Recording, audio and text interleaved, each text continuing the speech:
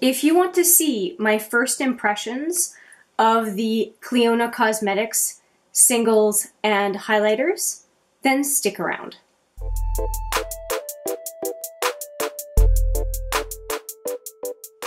Hi there, it's Helene with another video and I'm super excited about this video. I have been waiting to do this video. I'm so excited. I am going to be playing with the Clionadh Cosmetics single shadows and some highlighters. Now, some of the highlighters I have been using, I started using them when I did a focus on the Linda Hallberg collection, the Enchanted Secrets, and the Metallic Mysteries 2 as well as the Infinity palette. I will put uh, the video right here. So I did play with some of the Clionadh highlighters, and I also have uh, done swatches of the two sets actually of swatches of the Clionadh Cosmetics singles and highlighters that I have. Uh, I will put them in succession here as the cards allow me to do that so that you can go and reference them if you want. I'm really impressed with this brand and I have just been just itching to do a brand new focus on this one. It's just been some time coming. It was in the queue and you know what, in a way, having to wait the anticipation has been really great, but every time I've played with them from unboxing to swatching it has just made it so hard not to use them without you. so I have been very good. I have only swatched now and then, but I've not put them on my eye other than highlighters. And when I did, I did tend to tell you what was on usually my inner lid. I just blah, blah, blah. Okay, let's just, let's stop. What I have done so far today, I've done all of my um, beauty stuff, skincare, I have done a base. So hopefully you can see I have my powders, I have my bronzer. I did do a Tarte Insight blush, but I did not do any highlighter, though I did do a primer uh, and setting spray. I did the Hangover RX by Too Faced. So I might have a little bit of shine going on, but I have not used any of the uh, Clionadh Cosmetics products. And by the way, I have called them Cleonad in prior videos, I was wrong. It is Clionadh Cosmetics. So that's what I'll be saying from now on. Enough talking, let's get into these. So I've got a whole whack of mattes and shimmers and duochromes in here. The, the top part is mostly the Harvest Moon and down here um, there are a number of singles from their 66.5 North I think it's called, their collection. And then uh, down here, some more of their specialty highlighters. And then I have a couple of these. There's always a plastic in here. I don't know why I'm keeping it. Two, two quads of their highlighters. I won't bother opening this one because it's really hard to see the color on camera. But I did use the high voltage. I did use this one in the intro to the brand new Focus. So if uh, you want to see that look, take a look at the intro to the brand new Focus or any of the ones where I'm wearing that kind of tattooy green shirt. That's what I'm wearing um, on the inner lid in the vicinity of that video. I don't want to use any of the Aftershock highlighters because I've played with them a fair amount and I want to do a first impression on the eyeshadow. Now the last one that I was using was high voltage, which was a lime green kind of reflective highlighter. So I'm going to stay away from lime green, despite the fact that I love, love lime green. Gosh, they're beautiful. Okay, I think, just gonna, are these going to work? Okay, I'm going to use Rune, Carrot, aren't those gorgeous? And this one, my finger's really dry. Hang on. Get a better swatch here. And this one, Rune, Carrot, and I would not have thought of that name, Chamomile. So let me swatch these three on my hand, along with a matte that I think I'll use. Holy cow, these are gorgeous. Gosh, I hope this translates to the eye like I'm hoping. I'm changing my mind. I want to use all of it. They're so pretty. I think I only need one matte because I have a, a beige base already from the Smashbox matte exposure. If you're if you don't know that palette, here it is. This is the shadow that oh, this is the shadow that I have all over to set my eye primer. And my eye primer is the Urban Decay Primer Potion, which I'm very look very much looking forward to using up because I think it dries out my uh, eyelids. I have very dry skin, and I think it's I think it's meant for oily lids. I will find out by switching in a couple days. Um, so yeah, it's just a it's just a cream base, and so I think I only need. I think I'm going to do two mattes. So I'm going to do a beige and a brown. Yeah, so I only need one. Okay. All right, so we have, for your viewing pleasure, we are going to go with chamomile up here. We are going to go with rune here, carrot, and this one, which I think is parchment. Ha! My memory's not bad. Uh, we're going to go with parchment. I was going to use this one as well, but in looking at it, I don't think that's necessary. So uh, there are a couple swatches here on my uh, hand that I'm not going to be using, but uh, just to recap, these four up here. So carrot, rune, uh, this one is, I'll get back to it, parchment, and chamomile. Okay, so those are the four. This is gonna be fun! And I just decided not to go with too, too much color as the last uh, looks that I did were with the NYX, NYX uh, Grind palette, and those are very grungy looks, and I wanted to do something a little bit more, a bit more staid, maybe. And I think I'm going to do, worried a little bit that Carrot is going to overpower Rune, but if I um, layer them, it should be okay. Now let's try it. If I need to adjust something, I'll adjust. That's the whole thing about first impressions. You learn, right? You learn. And let's go right in. I am going to go right into parchment, which was that um, this nice big kind of mustardy yellow beige color. Wow, they okay. So the mattes are powdery, if you don't like that, you may really dislike these, um, these mattes, but in the defense of powdery mattes, I find they blend better. So um, that is what I think. I'm just going to grab a smaller mirror because that Tarte palette is, it's great size for 25 shadows, but I do find it's a little bit big to be holding. So a little smaller palette here. Okay, let's go.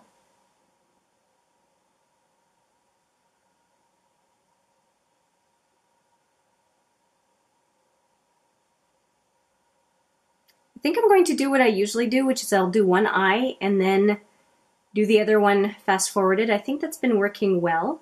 And I've heard some feedback that you do like to see both eyes um, at the same time, but I don't think that there's going to be an issue if if one is fast forwarded because you've seen the gist of what I'm doing on one eye. Okay, and I, I really like this going up to the brow bone. If you've got a lot of lid space, just go for it. And it it doesn't seem to take away from the look. I would think if you have um, less lid space, it might bring the eye down. But I I like the fact that it just kind of seems to do something nice on the inner lid as long as your eyes aren't too too close together. I I've been really enjoying that. Okay, so this looks pretty good, I think. Just going to add a little bit more little bit more to the crease. And I, in looking at the colors, there are a couple of colors, a couple of mattes that make me think of subculture in there. That must have been why I liked the Harvest Moon. it had some fall colors in there.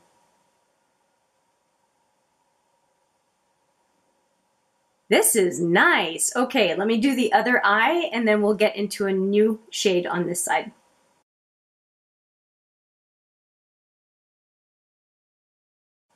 Hopefully this is not causing you trouble with the zoom. I really hope it's not.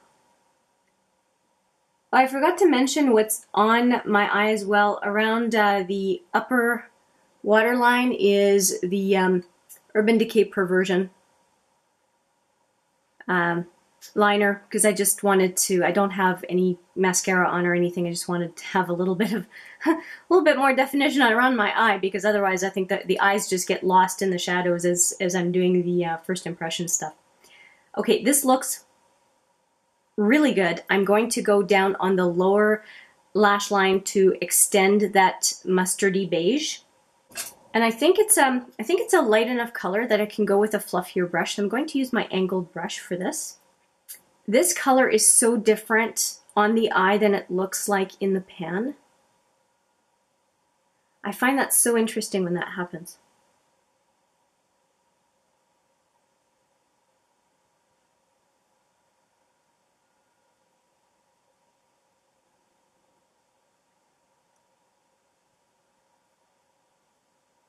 And I'm finding, I've been finding as I do eyeshadow on camera that I, I kind of disregard this little spot here and I end up putting my eyeshadow too high. So I'm trying to, uh, trying to go a little lower today. We'll see how it goes. Just watch me go right up to my cheekbone, right? All right, next eye.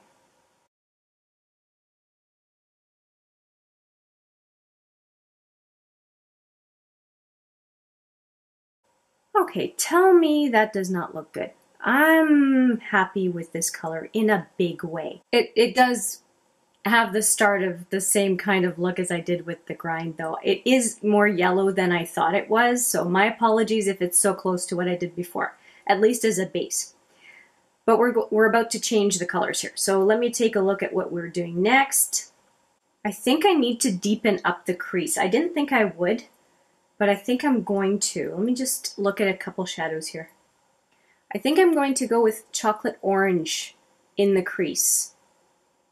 Just just to put something in the crease. And it's a it's a very pretty orange at low in the crease, but I, I think I want something in the crease. So let's let's try that. And for that purpose I'm going to go with a smaller fluffy brush for the crease. Hopefully that shadow will do well with that. Just tapping off the brush a little bit. We're going in.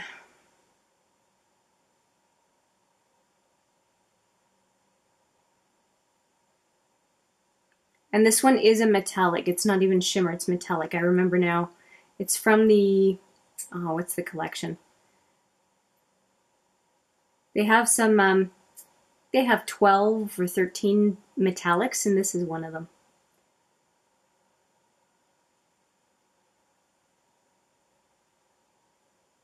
Okay, not as deep as I thought it would be.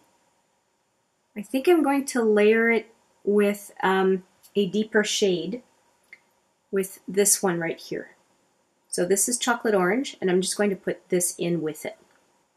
So the other matte shadow that I just picked up is Toasty. That's the one I just picked up. I'll do those two colors and then do the other eye.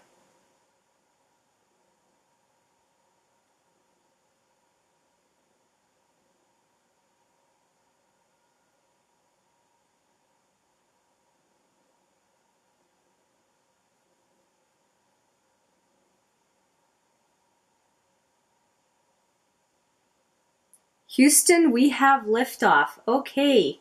Woohoo! I like it. That worked out really nicely. Okay, I'll do the other eye and then we'll move on to the next step.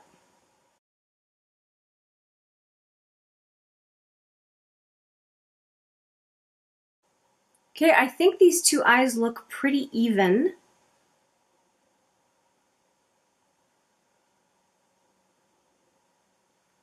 I'm really happy with how this is going so far.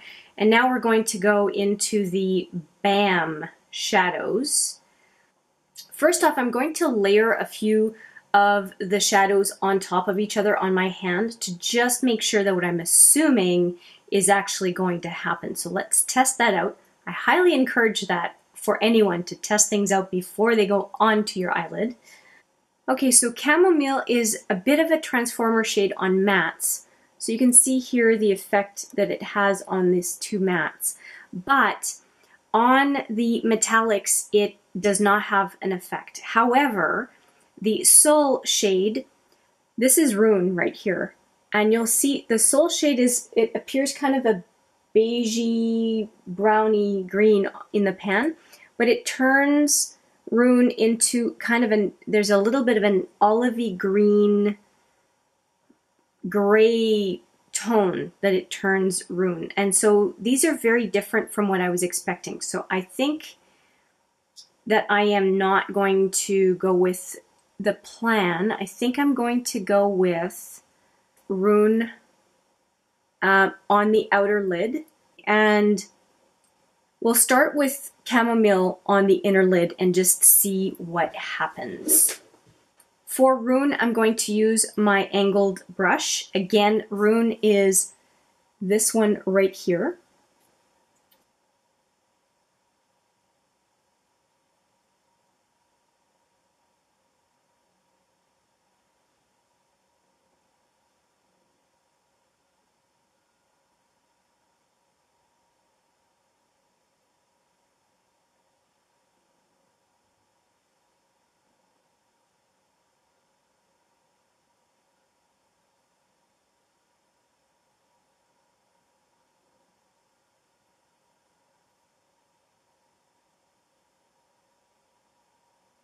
Okay, I've done the base of the shadow and I'm going to go in with my finger to just intensify the color.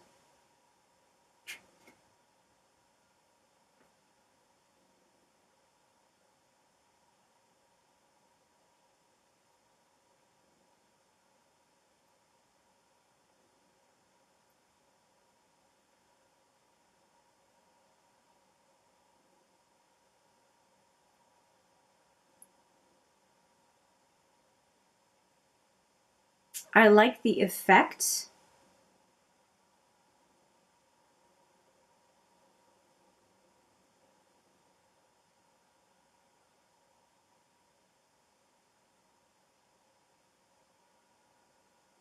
I liked it so much I went further in. And it's funny because Rune looks like I thought Carrot would.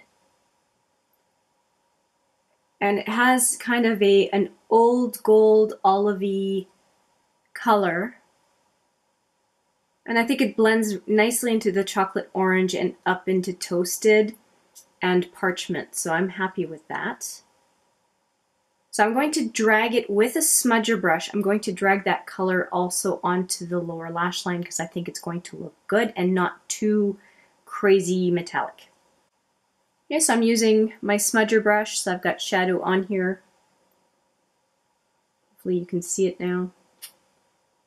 Zoom's not, there we go. The zoom was not cooperating. Okay, let's see where the shadow is.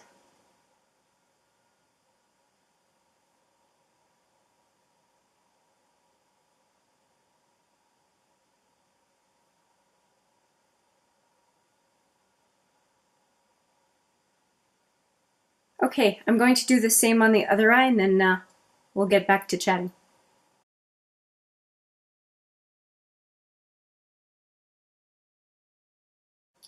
Okay, I just cleaned off my angled brush because I am noticing that there's some uh, shadow missing right into the inner corner. Before I go in with chamomile, I would like to just make sure that I have enough of the parchment on. Um,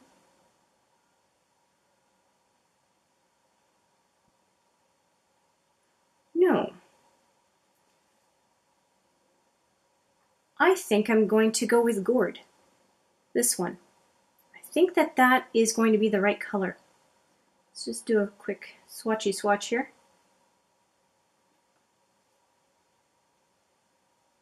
Yeah. I'm going to go with this color, a little bit closer to the inner lid. I'm going in.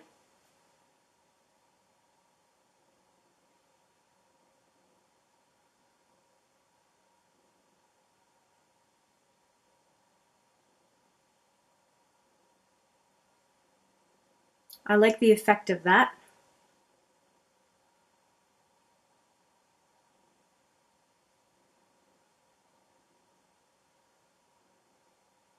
And I'm going to go in with gourd along the lower lashes as well.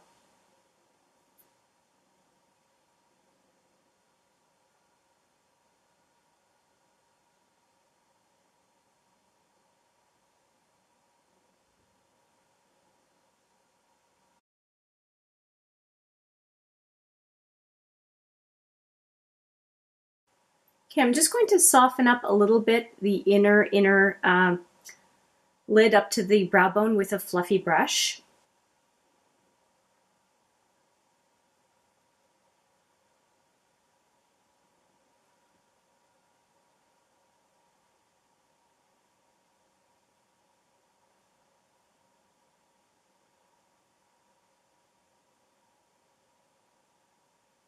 Okay, so I just softened it up a little bit, but I really do like the effect. I, I really enjoy it. And then we're going to brighten up the inner lid now with that chamomile color.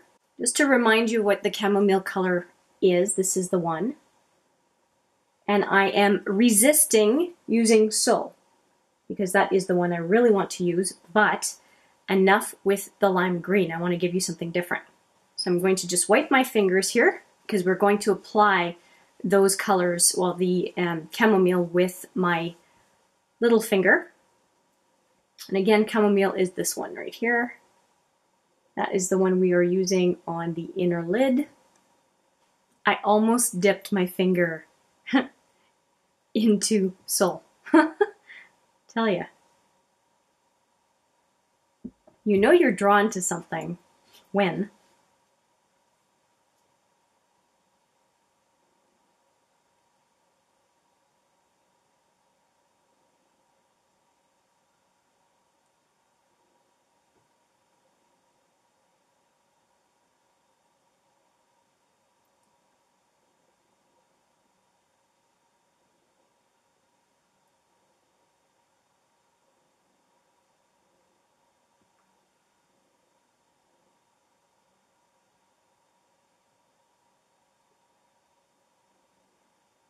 I think this is really pretty.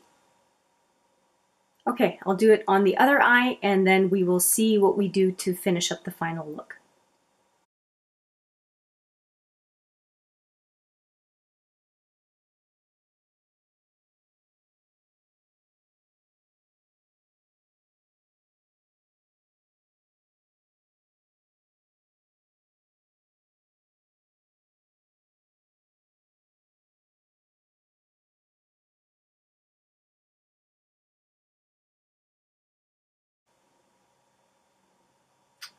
Okay, so we have a decent set of eyeshadows here, I think, right? I think it turned out pretty nicely for never having used any of these colors. I think they go really well together. I ended up using a lot more than I thought I would. Okay, so I used parchment, pretty much um, quite all over, kind of that mustardy color. Uh, this one is toasty. I use that in the crease along with chocolate orange right there. Then on the outer lid, I used Rune.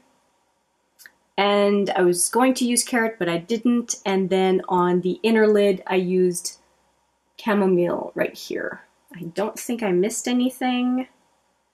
Yeah, those are the colors that I used today but I still want to do a highlight. And I think that I'm going to highlight with the, this is a sorbet highlighter, that's the, the, what it's called, and it's got three colors in it. And I think I'm going to focus on the peach section and do a peach highlight to go with the kind of peachy mustardy look uh, on the high point of my cheekbones and along my nose. So I will do that right now. And then we'll get into non-Clionadh, um, I guess, products. I'm going to use my fluffy highlighter brush and go very selectively into the peach that I just showed you with a mirror.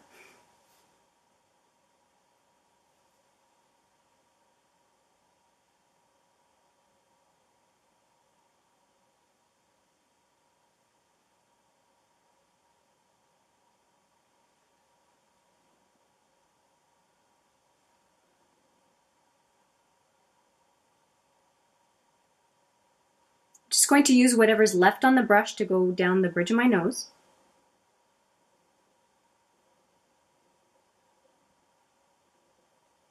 Apparently I need a little bit more, so let's do a little bit more. And Cupid's bow.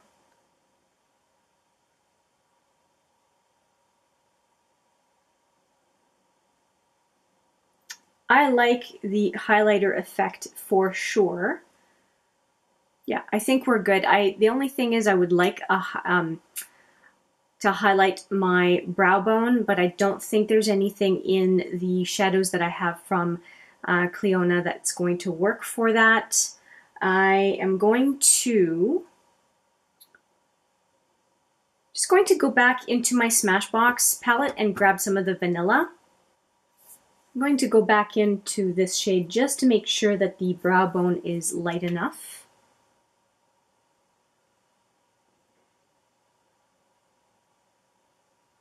That's better already.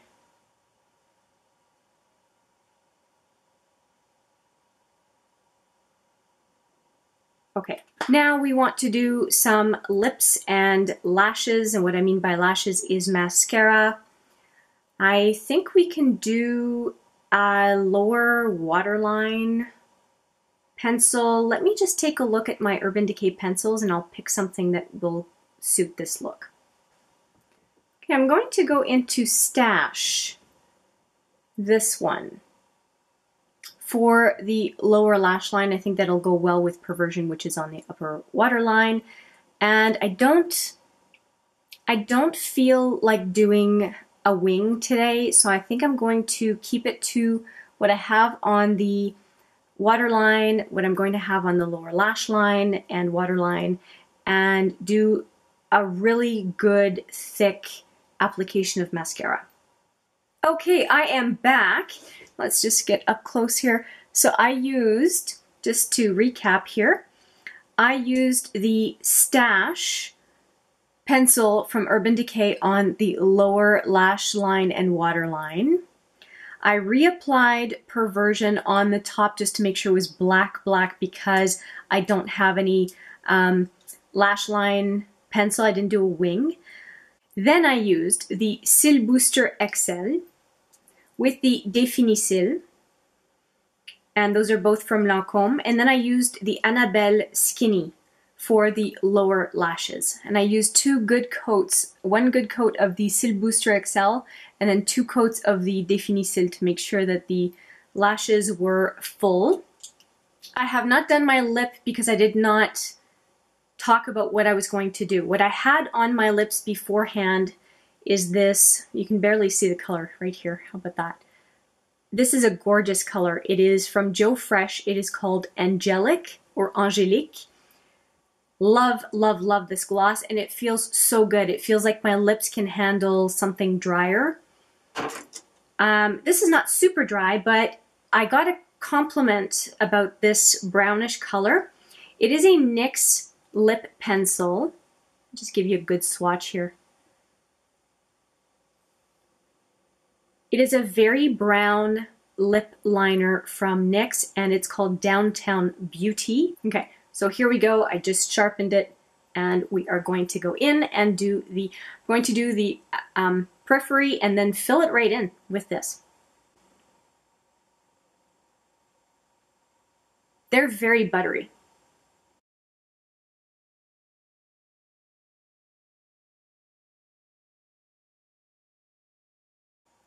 Whenever I do my lip liner or lipstick, I wonder what I'm going to what I'm going to notice when I edit what kind of funny faces I do. I guess we all have our lipstick application face, just like we have our mascara face and our uh, eyeshadow application face.